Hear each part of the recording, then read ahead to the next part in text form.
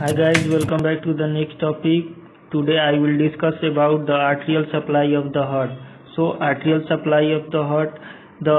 heart is mostly supplied by two coronary arteries that arise from the ascending aorta immediately above the aortic valve. ये बोल रहा है कि हमारा जो हार्ट सप्लाई करता है जो आर्टरी सप्लाई करता है वो टू कोरोनरी आर्टरीज करता है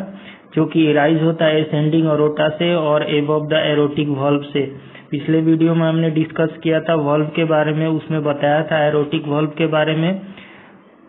तो उसमें आपको एरोटिक वॉल्व के जस्ट एबव से हमारा एसेंडिंग अरोटा स्टार्ट होता है तो एसेंडिंग अरोटा से हमारा वो एराइज होता है coronary artery the coronary arteries and their branches run on the surface of the heart जो हमारा कोरोनरी आर्टरीज होता है, वो रन करता है हमारा सरफेस ऑफ़ द हार्ट पे। नेक्स्ट देखते हैं हम लोग कोरोनरी आर्टरीज में। दो कोरोनरी आर्टरी आपको टू कोरोनरी आर्टरी इंट्रोडक्शन में बताया है। तो कोरोनरी आर्टरीज में हमारा होता है राइट कोरोनरी आर्टरीज पहला और दूसरा होता है left coronary arteries right coronary arteries का हमारा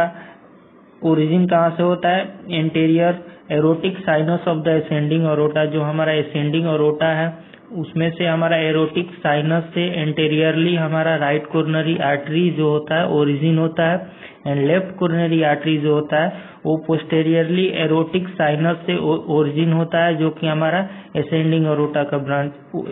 असेंडिंग अरोटा से ही हमारा ओरिजिन होता है एरोटिक साइनस से, जो कि ये पोस्टेरियरली होता है और हमारा राइट कोरोनरी आर्टरी जो आर्टरी जो था, वो एंटेरियरली ओरिजिन हो रहा था। नेक्स्ट देखते हैं हम लोग दोनों के ब्रांचेस देखते हैं, कितने कितने ब्रांचेज है okay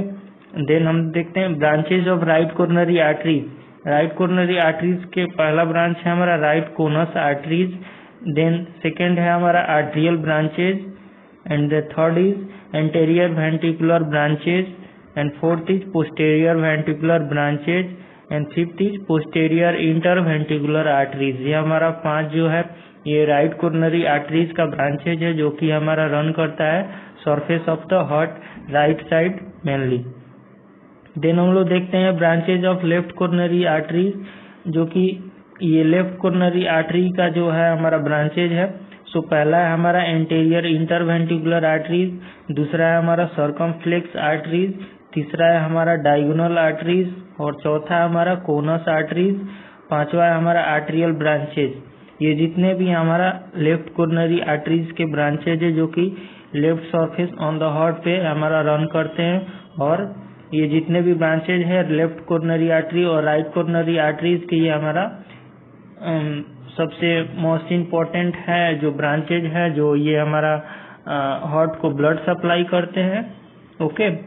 that thank you so much for your patience to hearing me. I hope you understand this lecture. So guys please like share and subscribe my channel read gurukul. Thank you